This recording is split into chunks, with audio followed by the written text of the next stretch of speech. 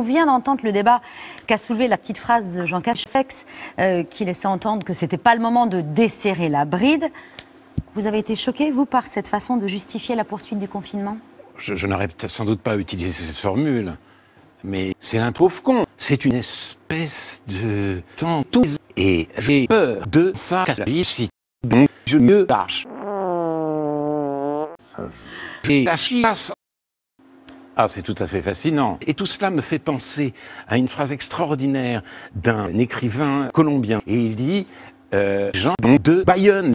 Il faut essayer de réfléchir à cette phrase. Non, Si, non, si, non, si, non, si, non. si, Ah non, mais ça tourne en rond depuis tout à l'heure. Ouais, c'est ça, ça tourne en rond, c'est le c'est mot. chiant, non, en fait. depuis un moment en plus. Ah non, mais je veux manger du concombre avec des frites et aussi du avec plus hasard.